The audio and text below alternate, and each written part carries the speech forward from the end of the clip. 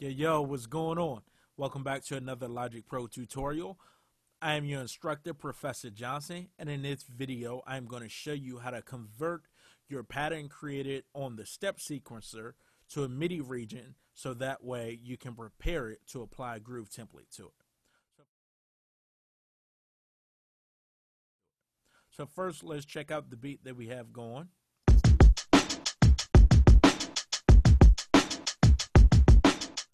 Pretty simple to convert it to a MIDI region. All you do is you control click on it and go down to convert MIDI region.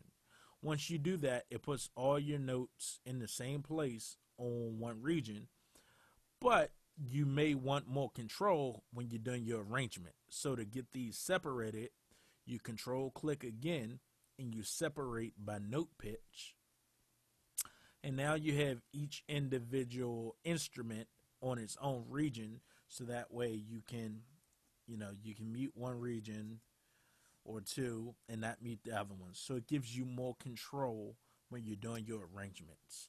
And in the next video i'm going to show you how to apply various groove templates to your drum sequence